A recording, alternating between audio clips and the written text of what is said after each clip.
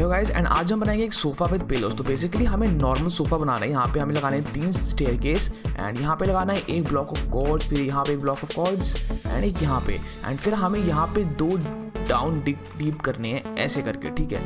Basically फिर हमें यहाँ पे पिलोज लगाने तो हम एक ऐसे करके लगा सकते हैं बैनर एक ऐसे बैनर एंड एक ऐसे बैनर एंड फिर इसको यहाँ पे फिर से ब्लॉक ऑफ़ कॉर्ड से फिल करो। तो वाओ गाइस ये ऐसा लग रहा है कि यहाँ पे पिलो है।